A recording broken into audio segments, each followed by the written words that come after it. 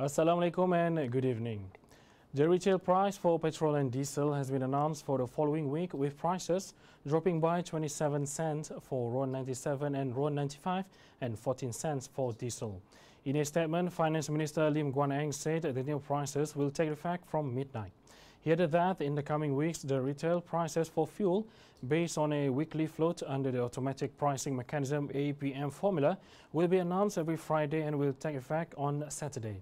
The new price for RON 97 is 2 ringgit 20 cent a litre, RON 95 is 1 ringgit and 93 per litre, and diesel is 2 ringgit and 4 cent per litre.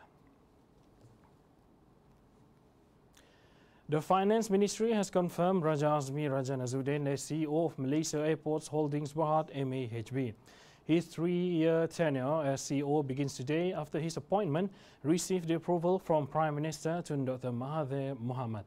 He joined the organization in February 2016 as its Chief Financial Officer. Bank Negara Malaysia BNM Governor Nor Shamsiah Mohamad Yunos has been named the Central Banker of the Year Asia Pacific 2019 by UK-based monthly financial magazine The Banker.